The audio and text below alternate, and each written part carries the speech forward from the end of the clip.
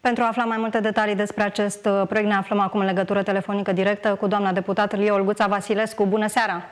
Bună seara!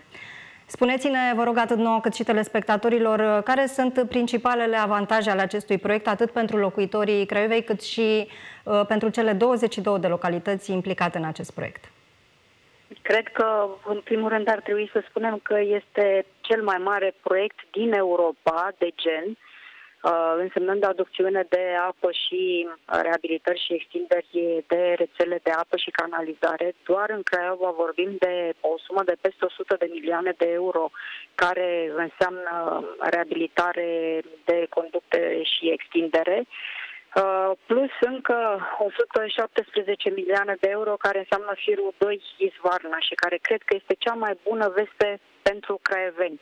Niciodată nu a intrat o investiție atât de mare din uh, fonduri europene în județul Dolj și cred că nici în România, din moment ce acum vorbim despre cel mai mare proiect uh, din Europa de genul acesta.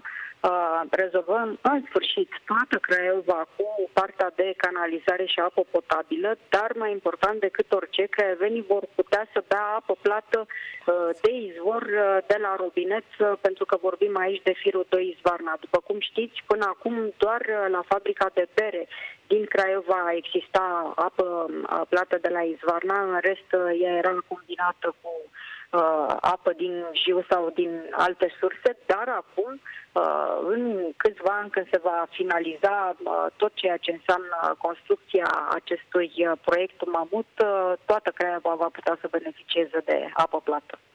Care sunt uh, principalele localități de lângă Craiova care vor beneficia și ele de acest proiect? Știu că oamenii își doreau, își doreau de foarte mult timp uh, apă și canalizare și nu au avut niciodată. Da?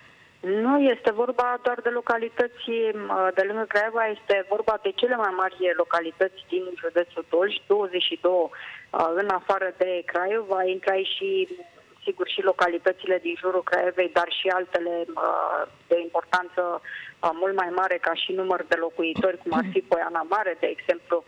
Deci, cam mare parte din județul Dolj va fi conformat la apă și canalizare. Cât va dura, cât estimați că va dura implementarea acestui proiect? Deja a durat foarte mult. Vorbim de uh, anul 2012, uh, luna septembrie, când uh, ne-am apucat să găsim firma de consultanță care să ne ajute pentru acest proiect.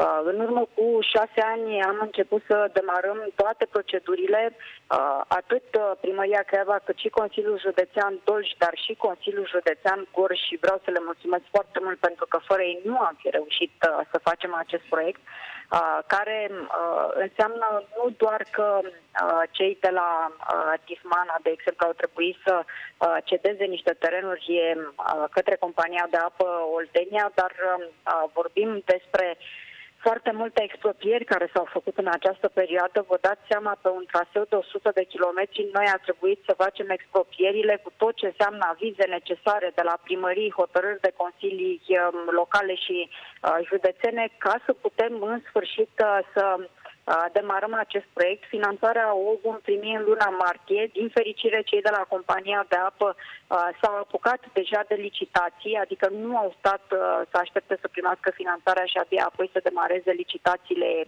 Ei au început deja toate aceste proceduri, astfel încât din luna iunie acestui an, poate și mai devreme, va demara construcția propriu-zisă atât pentru Izvarna cât și pentru uh, extinderea de rețele de apă și canalizare pe Craiova și celelalte localități. Vă mulțumim foarte mult pentru intervenția dumneavoastră telefonică. Mare drag!